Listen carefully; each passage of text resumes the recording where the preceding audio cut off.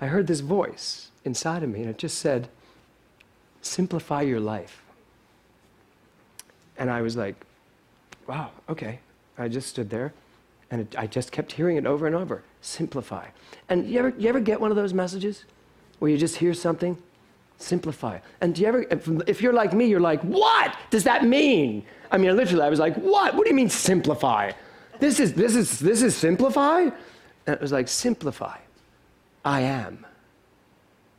Much simpler than you think. Did you get that? Yeah. I am is much simpler than you think.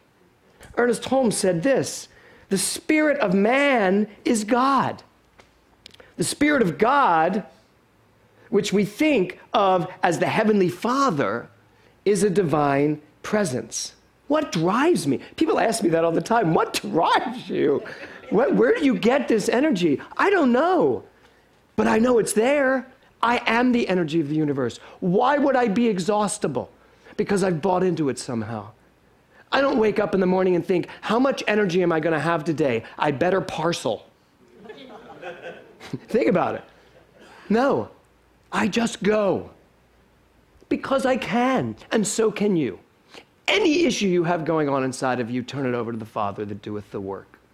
We made it this far. Do you really think jumping 40 feet down into a shallow pool of water is the best way to end this trip? And she was like, Yes. And she just jumped and came back up and said, Dad, come on,